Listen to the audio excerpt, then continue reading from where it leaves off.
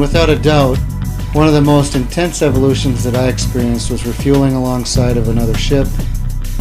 And what you find is, is that about every three days, because of our temper, tempo of operations, we were looking to find gas, find food, find parts to support the day-to-day operations of a warship.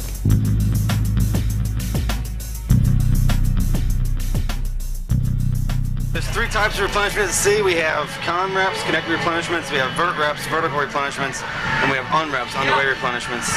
The con reps, you'll be alongside a ship. We use a pulley system with a high line in order to bring over pallets of cargo, supplies, groceries, food, etc. For vert rep, we'll be a little bit farther apart and use a helicopter, either our helicopter or the unrep ship's helicopter if they have what's called an organic helicopter, which means they have their own bird. Helicopter will do trips back and forth, either our forecastle, our flight deck, bring over supplies, groceries, etc. For the underway replenishment, that's what we're doing right now. You'll see we got we got a rig coming across with the hoses, and we'll take our fuel that way.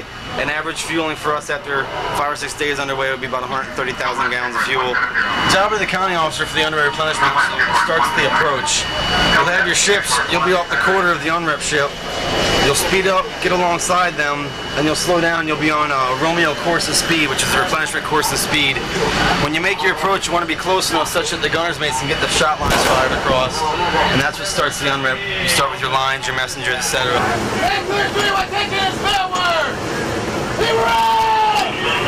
So what we're doing today, we're taking fuel from the Walter S. Diehl. Basically, if you were driving down the road and uh, you had a, one of the big fuel trucks from one of the gas companies come alongside your car and give you the gas hose, that's all we're doing. We're never stopped. We're doing right now about 13 knots. The span wire comes over. We hook it up to the top of the um, receiving bell. We get ready to bring the probe and the hoses over. The small hoses come over. Seat the probe, start taking gas. Pretty simple process. Kind of gets dangerous though with the limited deck area and as many people as we have out here today. See over on the other side that we have lines made up for the phone lines for station to station so we can talk to each other between uh, David R. Ray and the Walter S. Diehl. We have a bridge to bridge phone and distance line that measures the distance between the ships so we maintain 180 feet between ships. 7 to get hooked up right now. As soon as they get hooked up, we'll get ready to take fuel. The fuel will come through these big black hoses right here. They're seven and a half inches. We can take 1,500 gallons a minute right through those hoses. We're done with the underway replenishment. The conning officer's job is to break us away from the unrep ship. This ship will always do. We'll always play George Thorogood, bad to the bone. When ready, when all lines clear, he's gonna give an all head full, left full rudder, and we're gonna come all the way around. Nice safe distance from the ship. If there was another ship waiting to be gas, we'd take station behind them as the lifeguard ship.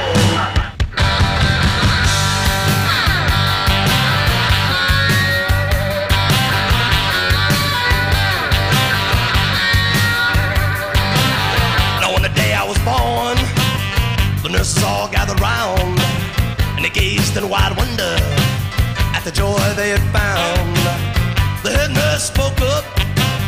Said, Leave this one alone. She could tell right away that I was bad to the bone. Bad to the bone. Bad to the bone. Bad.